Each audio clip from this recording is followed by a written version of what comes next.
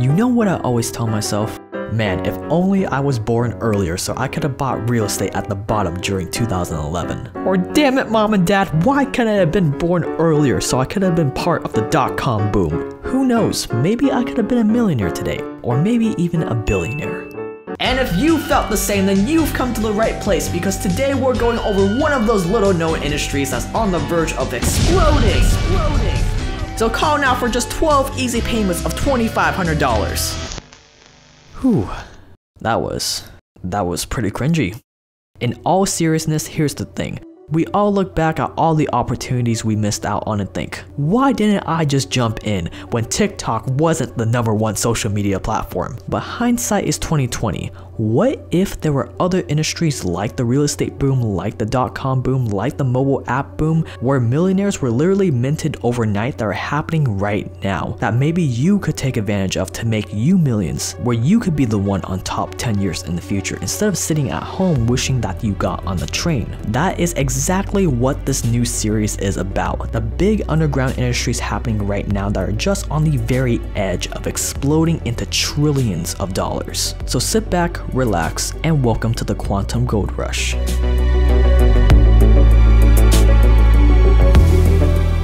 In 1956, to store just 5 megabytes of data, you needed a hard drive the size of an extra large commercial refrigerator.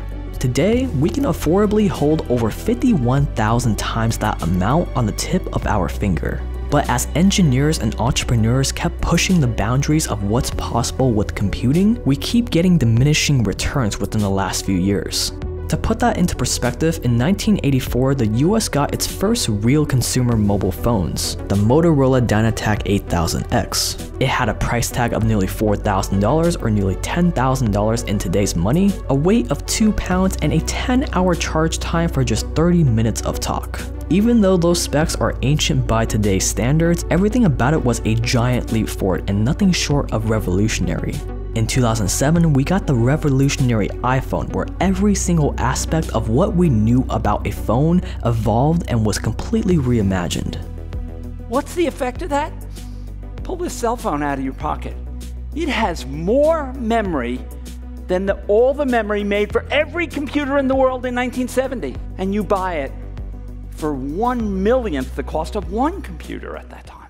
And in 2020, we're gonna get an iPhone with the revolutionary feature of having one less port. Yeah, things are starting to slow down. And in the computer world, it's pretty much the same. Sure, computers are getting faster year by year, but we're not seeing the exponential strides we had in previous years and previous decades. This means that the one technology that powers our entire modern day lives, that's at the core of every million dollar business, every billion dollar business, every brick and mortar business, education, government, you name it, is at a plateau. Or in other words, humanity is at a bottleneck and the person or group that can figure out a new way to keep pushing humanity forward? Forget millionaire, forget even billionaire, they'll be one of the most pivotal people in all of human history. Enter quantum computing.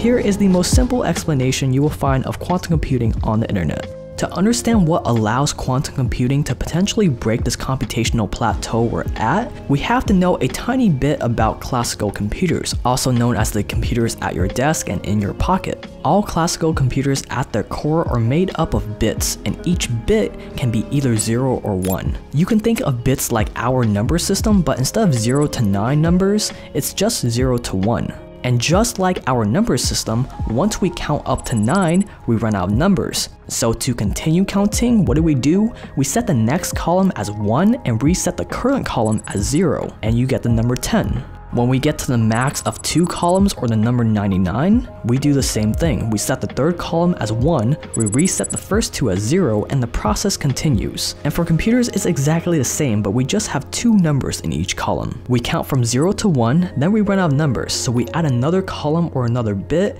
set that to 1, and reset the current bit as 0 and the process continues. String a bunch of bits together and you get a bigger number. String 8 bits together and you can represent a letter. String multiple 8 bits together and you get words. If we string an incomprehensible amount of bits together, you get the ability to compare yourself to others on Instagram and to do other nefarious stuff on these things called computers. But the problem with computers being set up like this is that we're getting to the point where we're getting to the physical limits of how many bits we can squeeze together onto a single computer chip, and thus classical computer growth is starting to plateau.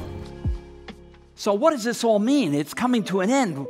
Are we going to have computers in the future? Well, we're certainly investing in research. It is really research, it's things going on in laboratories that physicists are working on to try to invent new computers. This is where quantum computers are supposed to come in. Instead of just bits representing zeros and ones or just two states or two possibilities, thanks to some wizardry in quantum physics that is outside the scope of this video, each bit in a quantum computer or a qubit can represent either 0 or 1 at the same time. That is literally all that separates classical computers from fancy quantum ones. More possible states equals more possible data that can be processed. The classical bit stores information as a zero or one, and a quantum bit can be both zero and one at the same time. If you have two quantum bits, then there are four possible states that you can put in superposition. With three qubits, it's eight, four qubits, it's 16. It grows exponentially. And with just a small difference alone, it allows quantum computers to scale up exponentially bigger and faster and be able to compute way more information with a fewer number of bits compared to classical computers. We're talking computing something that would take current supercomputers that range in the hundreds of millions of dollars 10,000 years to compute in something like 3 minutes and 20 seconds. Or in other words, just like the revolution cars, computers, and the internet brought forth, quantum computers have the potential to change the world as we know it. And with massive change comes massive, massive money. But what does that change look like?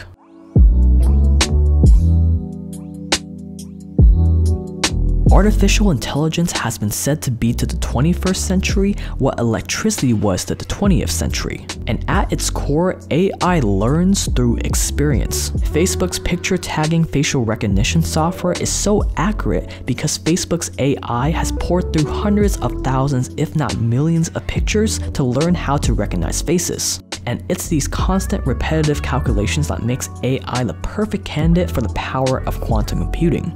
A few real-life examples of this include Lockheed Martin planning to use quantum computers to test their autopilot software that's too complex to test on a classical machine.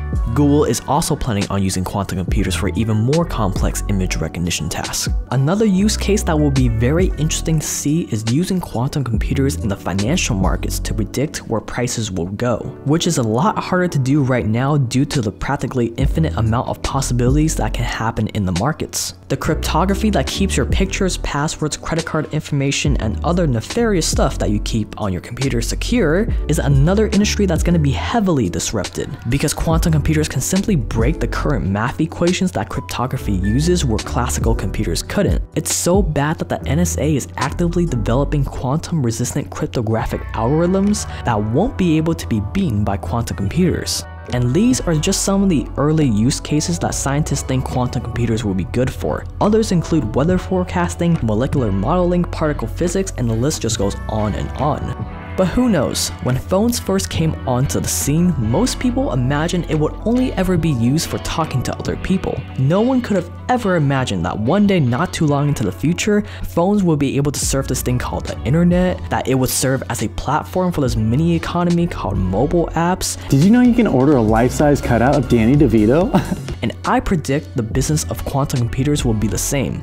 First, it will only be used at the scientific and big business level, and as the technology progresses, it will slowly trickle down to the consumer. And who knows, maybe one day we'll even have quantum computers in our smartphones. The only problem is we don't know how to make a practical quantum computer. Yet. Meet Google. As if they couldn't get any more powerful, they've been pushing a ton of money into creating a viable quantum computer. And on October 23rd, they achieved a fancy term called quantum supremacy, basically where they were able to compute a problem that would take 10,000 years to compute on a classical computer and do it in just 3 minutes and 20 seconds.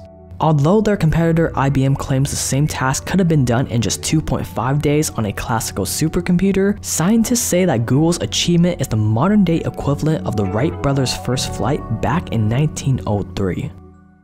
Google and IBM aren't alone though. Microsoft, Amazon, Alibaba, Huawei, and plenty of other startups have joined the party in this modern day gold rush to quantum supremacy. Amazon is partnering with other startups that have their own quantum computer and making it available through the cloud.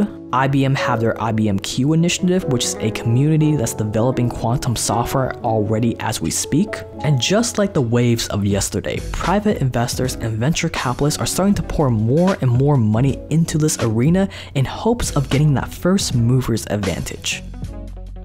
The gold rush is on, so I want to leave you with one final thought. Apple was able to become the biggest company in the world, nearly a trillion dollars, with just classical computers. So how high will quantum take us? Thank you so much for being part of the Watch the End Club and be sure to let me know what you think of this new series of like looking into future businesses and industries because I really do read all of your guys' feedback and I base that feedback on what to make next. And if you enjoy the style of hopefully visually pleasing videos for the business entrepreneur side of things, a few pixels below the screen there's a little button, it's red and it says subscribe and if you click it, number one, it will really please the YouTube gods which will help me out a ton and number two, you can get more videos just like this one for free every single week. So you might as well just click that red button down below right now along with the bell icon so you get notified whenever I release a new video. And as always, you can always dislike and unsub whenever you want, so you literally have nothing to lose. That is gonna wrap up this video. You can follow me on Instagram at jaketran.io. Thank you so much for watching. You've been awesome. I've been Jake. I'll see you guys in the next one. Oh, and happy holidays too.